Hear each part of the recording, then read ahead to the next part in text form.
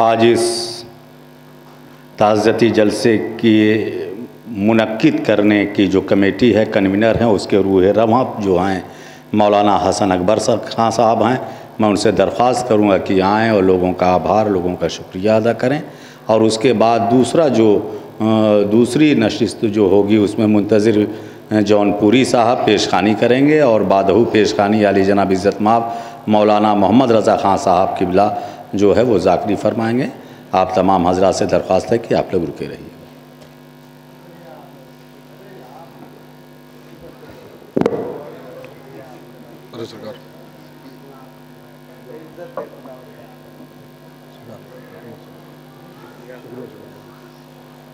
हजरात, चूँकि मेरी हैसियत इस लायक नहीं है कि हमारे बड़े भाई और हमारे सरपरस्त और आज के जलसे के सदर हजरतलाम वलमसलमिन आली जनाब मौलाना महफूजुल हसन ख़ान साहब कबला मुश्तद प्रिंसिपल जाम मानिया नासरिया मौजूद है। मैं जनाब बिलाल साहब और जनाब गौहर अली जैदी साहब और राशिद अली रन्नो वाले और हैदराबाद ताबी साहब, ये कन्वीनर थे। मैं शराज हिंद जौनपुर की तरफ़ से आए हुए तमाम कराम मफक्रीन दानश्वर और जिन और नेता हजरात भी कुछ आए और प्रवक्ता भी आप कह सकते हैं जो लोग तशरीफ़ लाए इस ताज़ियत जल, जलसे में मैं इनका बहुत ही तह दिल से शुक्रिया अदा करता हूँ और यकीनन सरकार ये प्रोग्राम ठीक साढ़े छः बजे चूँकि जिनका जलसा ये हो रहा है, जिनकी ये मजलिस हो रही है, वक्त के बहुत पाबंद थे। ठीक साढ़े छः बजे तमाम इश्तहार में लिखा गया था और साढ़े छः बजे ये प्रोग्राम शुरू हो गया था। आप घड़ी देख सकते हैं कि माशा कितनी देर से ये प्रोग्राम चल रहा है, जबकि अभी हमारे एक मेहमान बाहर पहुँच चुके हैं। शायद मेरे बाद दो चार मिनट आपको और सुनना होगा। लिहाजा मैं उनके इंतज़ार के लिए दो तीन बातें कहना बहुत ज़रूरी समझता हूँ। और आज के जलसे के सदर मौलाना महफूज हसन खान साहब और मौलाना सैयद सदर हुसैन जैदी साहब का इस कमेटी की जानब से बहुत ही शुक्रिया अदा करता हूँ। अजीज़ान मोहतरम, यहाँ लोग कम हैं, मगर देख लीजिएगा, लाइव में अपनी अपनी तकरीरों को। चौदह सौ, पंद्रह सौ, दो हज़ार, ढाई हज़ार। ये क्या तरीका है? बहुत अच्छी बात कही हमारे सरकार ने और सदर साहब ने कि साढ़े चार सौ पाँच लोग अगर उनकी वजह से उनके ज़रिए से इल्म हासिल कर रहे हैं तो कम से कम उनके घर वालों को आना चाहिए था। और कमेटी की भी गलती थी कि कम से कम घर वालों को इतला करना चाहिए था। इसलिए कि हर आदमी फेसबुक पर, हर आदमी व्हाट्सएप पे नहीं है। लिहाजा कोई भी प्रोग्राम हो, कोई भी कार्यक्रम हो, उसकी बाकायदा तैयारी होना चाहिए। हर महल्ले में, हर गली में पोस्टर होना चाहिए, इश्तहार होना चाहिए, ताकि लोगों को खबर हो सके कि वाकई किसका प्रोग्राम है। इसलिए कि आप जिसका जलसा कर रहे हैं, जिसकी मजलिस कर रहे हैं, ये कोई शख्स नहीं था, बल्कि शख्सियत थी। कौन कहता है कि डॉक्टर कलब सादिक साहब का इंतकाल हो गया? कौन कहता है कि डॉक्टर कलब सादिक साहब दुनिया से गुजर गए? कौन कहता कि डॉक्टर कलब सादिक साहब नहीं रहे? अगर यूनिटी कॉलेज है तो कलब सादिक ज़िंदा है। अगर एरा मेडिकल कॉलेज है तो कल्ब सादिक ज़िंदा है। अगर हर ज़िले में तालीम है तो कल्ब सादिक ज़िंदा है।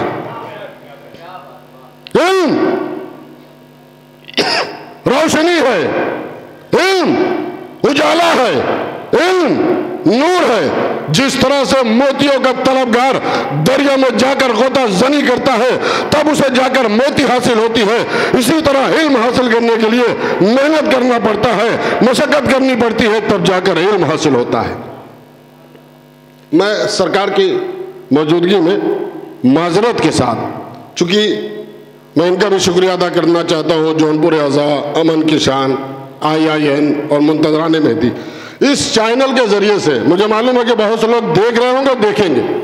मैं हिंदुस्तान के तमाम उलमाए कराम से, चूँकि हकीम मिल्लत, जिन्होंने इल्म को फैलाया पूरे हिंदुस्तान में, उनके जलसे में ये बात रख रहा हूँ, चूँकि मेरी कोई हैसियत नहीं है, मेरी बात शायद वहाँ तक न पहुँचे।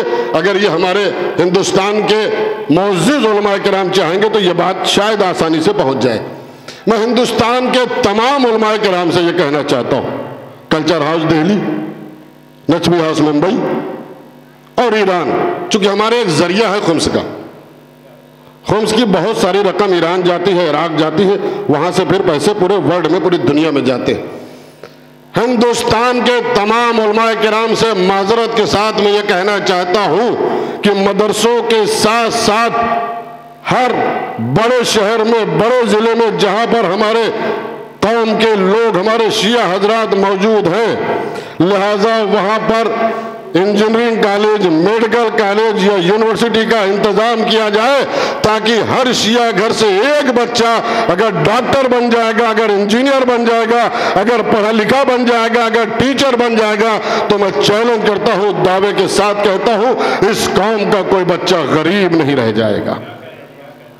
ये तालीम का बहुत अच्छा सिलसिला है।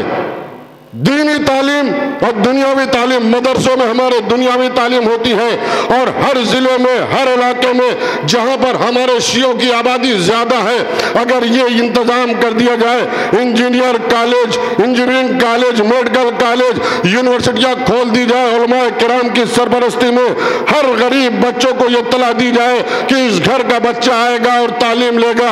यकीन मानी हमारी कौम पढ़ी लिखी कौम हो जाएगी। एक जुमला मुझे याद है, डॉक्टर डॉक्टर वो सादिक साहब का। मैं लखनऊ की एक मजलिस में था। उन्होंने नौजवानों को ललकार के कहा था मेरे नौजवानों, पढ़ो, इल्म हासिल करो, डॉक्टर बनो, इंजीनियर बनो टीचर बनो पढ़े लिखे बनो। जब मुहर्रम में तुम आका हुसैन का जुलूस लेकर निकलेगो तो कौम के लोग जब देखेंगे, बाहर के लोग ये कह देंगे, अलम उठाया है, डॉक्टर साहब ने ताजिया उठाया है, इंजीनियर साहब ने जुलझना की मेहर को पकड़ा है, साइंटिस्ट साहब ने।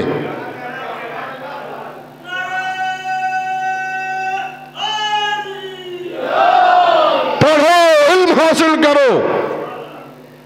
जिस दिन इंतकाल हुआ, टीवी आप लोग देख रहा था, मैं भी देख रहा था। सबसे अच्छी बात मुझे आज तक की लगी। आज तक ने के एंकर ने फ़ौरन कहना शुरू किया, हिंदुस्तान ने दूसरा अब्दुल कलाम खो दिया। समझे आप? इतना बड़ा लकब, हिंदुस्तान ने दूसरा अब्दुल कलाम खो दिया। क्या थे अब्दुल कलाम? राष्ट्रपति थे? नहीं हिंदुस्तान के साइंटिस्ट थे। पूरी बात उसने एक जुमले में कह दी, एक वर्ड में कह दी कि हिंदुस्तान ने दूसरा अब्दुल कलाम खो दिया। ए मरम नौजवानों, मुझे अपने उस्ताद मोहतरम आयतुल्लामा मौलाना महमूद हसन खान की वो बात आज भी याद है। मौलाना मोहम्मद रजा साहब किबला मौजूद है। मौलाना वसी मोहम्मद साहब किबला मौजूद है। हम लोग उनके तालब इल्म है, हम लोग उनसे इल्म लिया करते थे। अपने दर्श अपने दर्श में, अपने क्लास में मरहूम ये कहा करते थे, पढ़ लो। तेईस से चौबीस साल की उम्र होती है पढ़ने की। 24 या 25 साल के बाद कोई बच्चा पढ़ नहीं पाता है। उम्र मुन किया था, मरहूम ने बताया था हम लोगों को, बाकायदा बाजू हिला हिला कर कहते थे, पढ़ लो पढ़ लो यह इल्म तुम्हारा सहारा बनेगा। मरहूम ने मुझे याद है, उन्नीस सौ चौरानवे में, मैं ईरान जाने की तैयारी कर रहा था। मुझे अपने रूम में बुलाया कहा, मेरे बच्चे, मेरे बेटे, मैं तुम्हारे वालिद को बहुत मानता था। ये जो तुम डिग्री हासिल कर रहे हो, अदीब अदीब, माहिर, कामिल मोहल्लिम तुमने क्या किया? मैंने कहा, कामिल किया, मैं ईरान जा रहा हूँ। मुझे शौक है मामा लगाने का। क्या लगा, मेरी बात एक मान लो, मैं तुम्हारे बाप के बराबर हूँ। मैंने कहा, सरकार क्या? कहा मोहल्लिम कर लो। एक साल के बाद जाना, मैं तुम्हें रोक नहीं रहा हूँ। मोहल्लिम कर लिया मैंने। उन्नीस सौ चौरानबे की बात है। पंचानवे में मुझे नौकरी मिल रही थी। मैंने नहीं किया कि मुझे ईरान जाना है। हालात कुछ ऐसे नहीं हुए कि मैं ईरान जा सकता। 20 साल के बाद देखिए, डिग्री काम आई, सरकार की सरबरस्ती काम आई, उनका हुक्म मुझे काम आया। 20 साल के बाद 2014 में उसी डिग्री पर मुझे नौकरी मिल गई। आज मैं किसी लायक हूँ कि नहीं हूँ? उस्ताद की दुआ है, शहजादी का करम है। ए नौजवानों,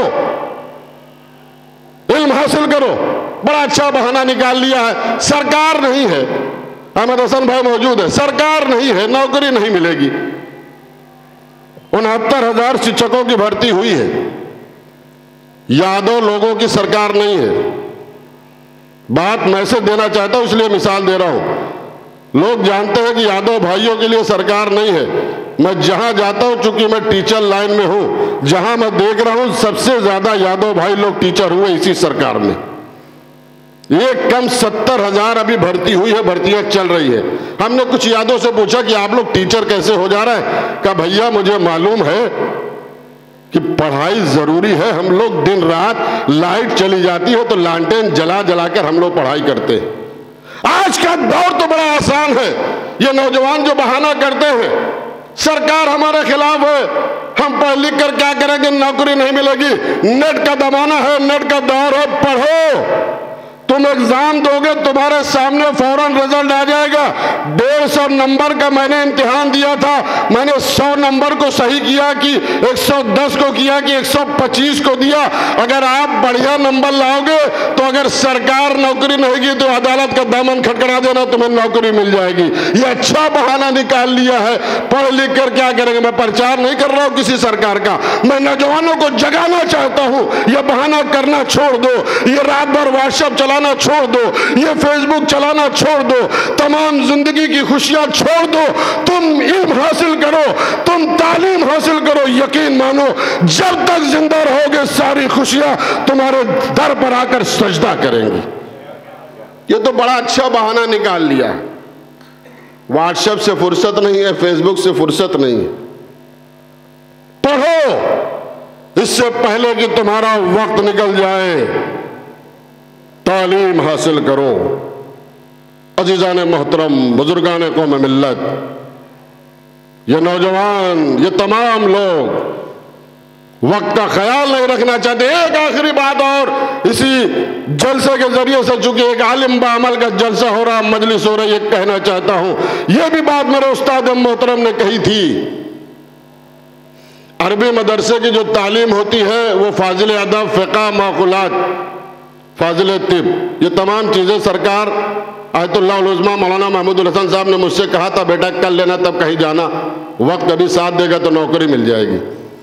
इंटर के बाद चार साल, भाई, इंटर के बाद चार साल जो बच्चा मेहनत करेगा चाहे वो इंजीनियर की लाइन हो, चाहे वो डॉक्टर की लाइन हो, चाहे वो मास्टर की लाइन हो, या कोई और चीज़ हो, चार साल जो बच्चा तमाम खुशियों को छोड़कर चार साल जो बच्चा मेहनत करेगा, यकीन माने पूरी ज़िंदगी वो बच्चा खुश रहेगा।